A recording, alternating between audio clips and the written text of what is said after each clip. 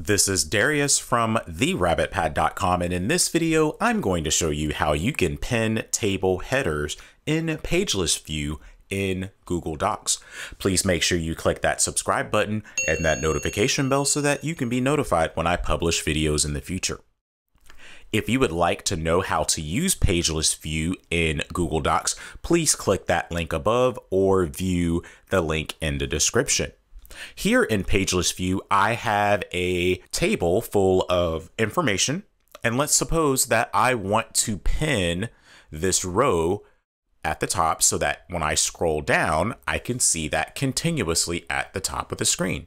What you do is you right click any cell in that row, and then you select pin header row.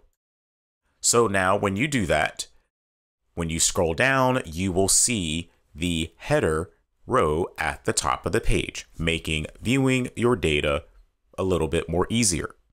You can also unpin that row by right clicking again and then selecting unpin header row. You can also pin multiple rows by clicking the last row that you want to pin. So I'm going to pin this one that says Brittany. Right click any cell in that row and then select pin header up to this row.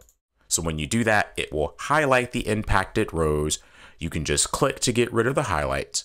And then when you scroll down, you will see all of those rows pinned. So this is how you pin rows in Pageless View in Google Docs.